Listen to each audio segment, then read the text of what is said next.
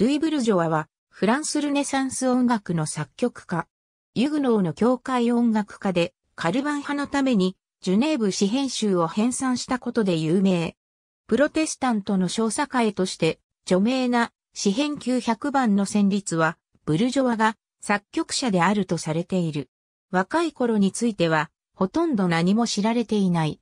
最初の出版作品であるいくつかのシャンソンは、1539年のリヨンに遡る。1545年までに、ジュネーブに行って音楽教師を務めていた。1547年に最初の4世のための詩編集を出版。同年ジュネーブ市民の資格を得る。1549年と1550年に、ほとんどクレマンマロやテオドールド・ベーズラによって翻訳された隠律詩編の修正に取り掛かる。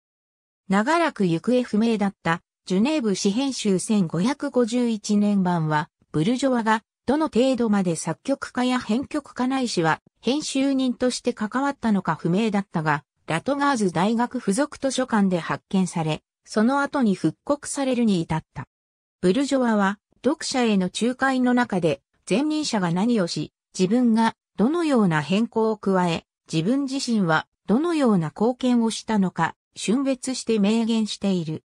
決定的なのは、ブルジョワがジュネーブ詩編集の主だった3人の作曲家のうちの一人であったということだ。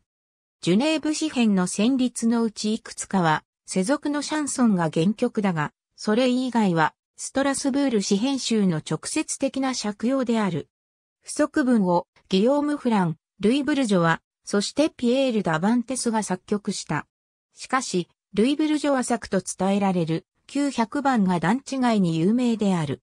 不幸にしてブルジョワは地方の音楽当局と衝突し、有名な詩編のいくつかを資格なしで変更したと告発されて、1551年12月3日に投獄されてしまう。ジャン・カルバンの個人的な調停によってブルジョワは釈放されたが、論争は長引いた。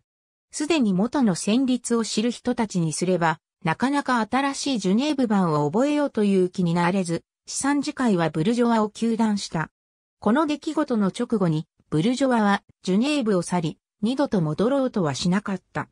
リヨンに今日構え、ジュネーブの雇用契約が切れると、遅まきながらブルジョワ夫人もリヨン入りした。リヨン時代のブルジョワは、ジュネーブの出版社に向けた攻撃的で侮辱的な作品を作曲する。1560年までにパリに登る。奇妙なことに、娘はカトリック信徒として洗礼を受けており、ジュネーブ時代に堕落した音楽形式と罵っていたシャンソンが1560年にまとめて出版されている。1560年以降のブルジョワの音信は、途絶えており、1559年高い説を唱える資料も存在する。